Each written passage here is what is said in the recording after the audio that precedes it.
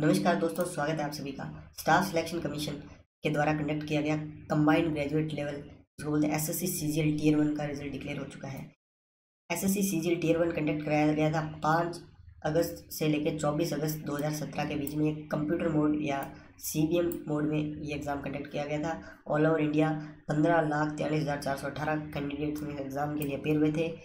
और जो जो बंदे पेपर वन और पेपर टू टायर सेकंड के टायर सेकंड के पेपर वन और टू के लिए क्वालिफाई किए हैं उन सब के रिजल्ट्स और जो पहली जो लिस्ट यहाँ पे दिख रही है वो पेपर फोर के लिए जो एलिजिबल है डबल ए पोस्ट के लिए जो एलिजिबल थे, उनकी जो कट ऑफ़ गई है पेपर फोर की वो गई है एक सौ बावन पॉइंट पचास मार्क्स गई है।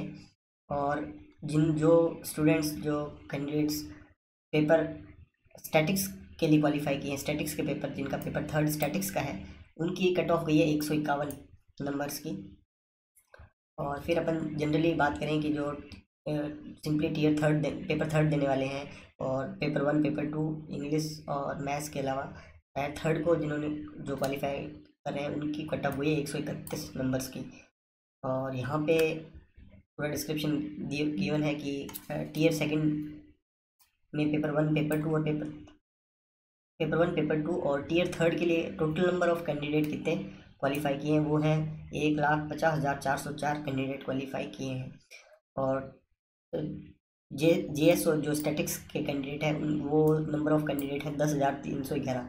और डबल ए पोस्ट के लिए या जो है पेपर फोर जिनका, उनके, उस, उसके लिए नंबर ऑफ़ कैंडिडेट्स जो क्वालिफाई किए हैं, वो पंद्रह हज़ार चार सौ पचास कैंडिडेट्स ने क्वालिफाई किया है। तो काफ़ी हाई कंपटीशन है। आ, कुछ जो दस बच्चे हैं उनके कोर्ट केस के ऑर्डर की वजह से कोर्ट के ऑर्डर की वजह से उनका रिज़ल्ट रोक लिया गया है। और ये फर्दर एनालिसिस में बताते हैं कि जो पंद्रह जो स्टूडेंट्स थे वो इस पेपर में दो बार अपेयर हुए हैं और जो फोर्टी सेवन बच्चों को डिवाइड किया गया है। इसके अलावा ये बता रहे हैं कि टीयर टू और टीयर थ्री का एग्ज़ाम है। वो इक्कीस दिसंबर से लेकर चौबीस दिसंबर तक कंडक्ट करवाया जाएगा। उनके एडमिट कार्ड अप्रोक्सीमेटली दस दिन पहले वेबसाइट में रिलीज़ कर दिया जाएगा।